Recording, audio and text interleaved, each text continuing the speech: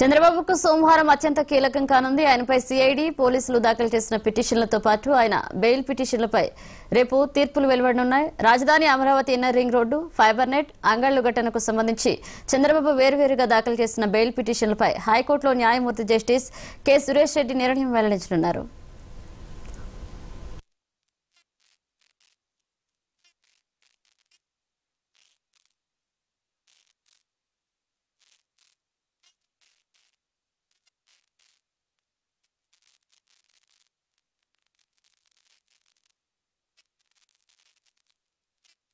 ఈ వ్యాజ్యాలపై ఇటీవలి వాదనలు ముగియడంతో తీర్పును రిజర్వ్ చేసింది. మరోవైపు స్కిల్ డెవలప్మెంట్ కేసులో చంద్రబాబు దాఖలు చేసిన స్క్వాస్ పిటిషన్ పై రేపు సుప్రీంకోర్టులో విచారణ జరగనుంది.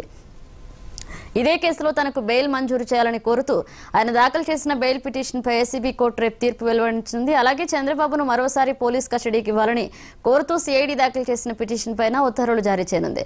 బెయిల్ కస్టడీ పిటిషన్లపై శుక్రవారం ఏసీబీ కోర్టులో వాదనలు ముగియడంతో న్యాయవాధికారి తీర్పును సోమవారానికి వాయిదా వేసింది.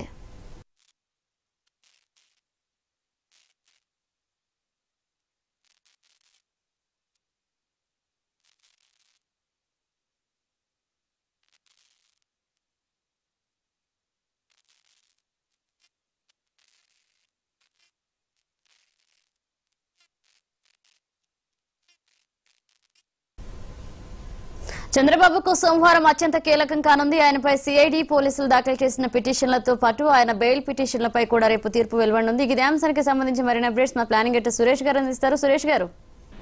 మనీష రేపు అంటే సోమవారం ఒక రకంగా చంద్రబాబు నాయుడు గారి అంటే జీవితంలో అనొచ్చాము మనం.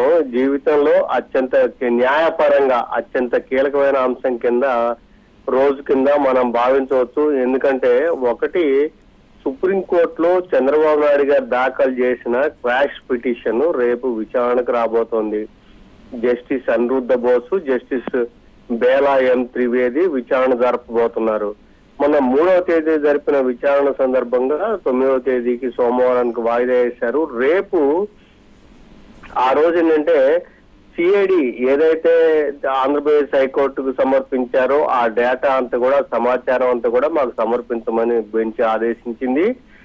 రేపు స్పష్టంగా సోమవారం నాడు అంటే క్రాష్ పిటిషన్ ఎలా ఎలో చేయడం అంటే చంద్రబాబు నాయుడు గారి వాదన సమర్థించడం లేకపోతే కొట్టివేయటం ఏదైనా కానీ ఒక నిర్ణయం అయితే రేపు వెలువడే అవకాశం అయితే స్పష్టంగా కల్పిస్తుంది. ప్రధానంగా ఏంటంటే సెవెంటీన్ ఏ అంటే ముందస్తుగా ఎవరైతే పబ్లిక్ సర్వెంట్గా ఉన్న ఎవరి మీదైనా కానీ ముందస్తుగా ఆ సంబంధిత అధికారి అంటే అధికృత నేత అధికారి అంటే గవర్నర్ గారు. ఇక్కడ గవర్నర్ గారి ఆమోదం లేక అనుమతి తీసుకోకుండా అరెస్ట్ చేయడం అనేది చట్ట విరుద్ధం అని చెప్పి యశ్వంత్ సిన్హా కేసులో రాఫెల్ డీల్ కేసును కూడా ఇందులో ప్రస్తావించారు. రాఫెల్ డీల్లో సెవెంటీన్ ఏని తప్పనిసరిగా ఫాలో కావాలని సుప్రీంకోర్టు అంతకు ముందే జస్టిస్ కేఎం జోసెఫ్ గారు స్పష్టమైన తీర్పు ఇచ్చారు.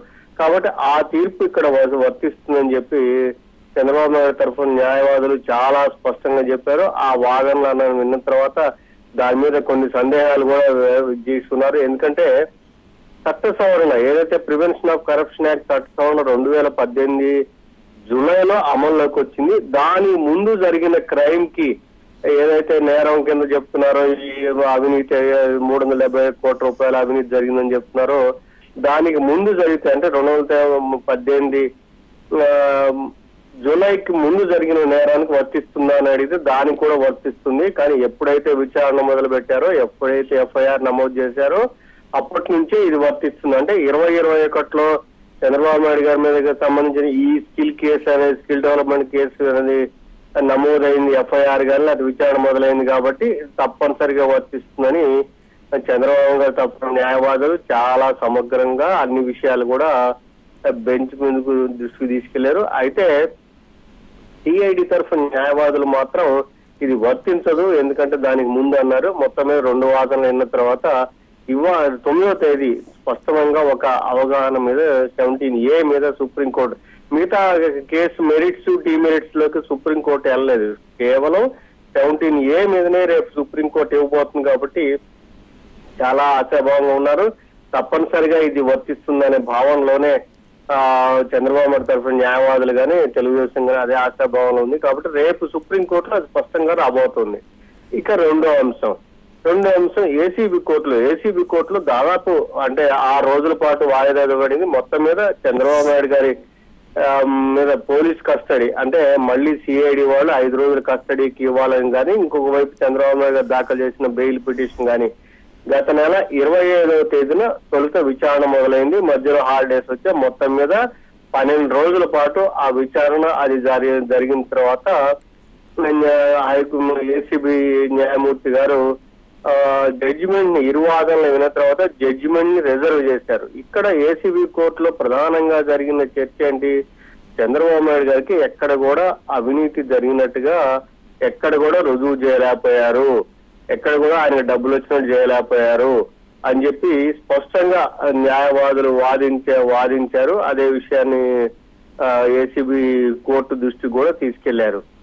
అయితే ఏదైతే సిఐడి తరఫున వాదించే న్యాయవాది కానీ ఏఐజీ పొన్నవల్ సుధాకర్ రెడ్డి గారు కొత్త అంశాన్ని తెర మీద తీసుకొచ్చి అదే విషయాన్ని ఏసీబీ కోర్టు తీసుకె దృష్టి తీసుకెళ్ళారు. ఏంటంటే ఏదైతే తెలుగుదేశం పార్టీకి ఇరవై ఏడు కోట్ల రూపాయలు వచ్చాయి ఆ ఇరవై ఏడు కోట్ల రూపాయలు ఎక్కడి నుంచి వచ్చాయి ఏంటి అని తెలుసుకోవడం కోసం ఆడిటర్కి మేము ఒక నోటీస్ ఇచ్చాము. ఆడిటర్ పదవ తారీఖున ఆయనకి సమాధానం చెప్పాలని చెప్పి ఆయనకి ఆడిటర్ నోటీస్ ఇచ్చామని చెప్పడంతో పాటు చంద్రబాబు నాయుడు గారిని ఆల్రెడీ విచారించాము దీని మీద సాక్ష్యం ఉంది అన్నారు. ఆయనకి మళ్ళీ విచారణకు అవసరం అని చెప్పారు. అందుకని ఏసీబీ రేపు అంటే సోమవారం నాడు ఒకటి పోలీస్ కస్టడీకి ఇస్తారా లేదా అనేది ఒక అంశాన్ని రెండోది బెయిల్ బెయిల్ అంశాన్ని రెండు విషయాలు చెప్పబోతున్నారు. మీకు తెలుసు ఎందుకంటే చంద్రబాబు నాయుడు గారిని వాస్తవంగా తొమ్మిదవ తేదీ అరెస్ట్ చేశారు. గత నెల తొమ్మిదవ తేదీ సెప్టెంబర్ తొమ్మిదవ తేదీ అరెస్ట్ చేశారు. అంటే తొమ్మిది రేపుడికి ముప్పై రోజులు అవుతుంది చంద్రబాబు నాయుడు గారిని అరెస్ట్ చేసి.